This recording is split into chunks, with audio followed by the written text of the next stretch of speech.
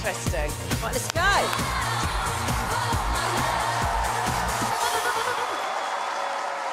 Hello, welcome. What's your name and where you come from? I'm Duncan Murray. I'm 22 years old and I'm from New Brunswick, Canada. Canada. Wonderful. And tonight you're gonna surprise us with. I jump on a pogo stick. You know, like a little pogo stick. Yes, I used to have one when I was about eight. But why Britain's Got Talent? I mean, look around. This is a huge stage. This has got to be the biggest. And if I win, I want to be in Vegas performing at concerts with music artists. Pogo sticking is so much cooler than I'm sure you guys have in a lot of your minds right now. Well, listen, your dream can come true at Britain's Got Talent, so go for it. All right.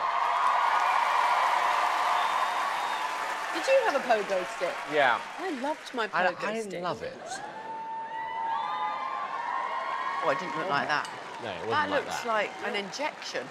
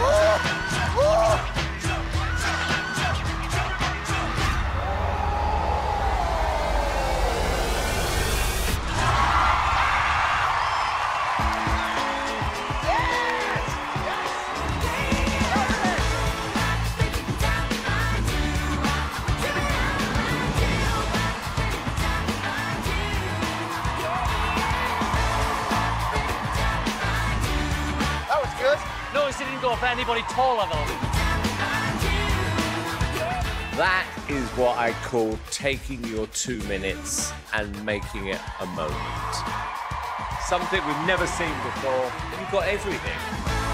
Totally agree. I never seen anything like it. It was stunning. Um, it was just brilliant. We put you through to the next round. What else would you do? Pogo stick. I love the fact that you brought Ant and Dec in. I was a bit worried about Ant, not so much Dec. Um, but I just thought.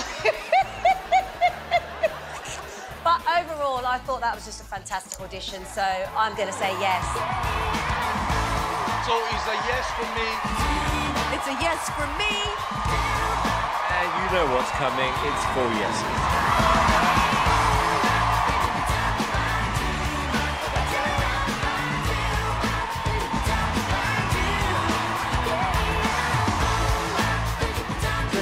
Good man. Well, done. Hop, hop.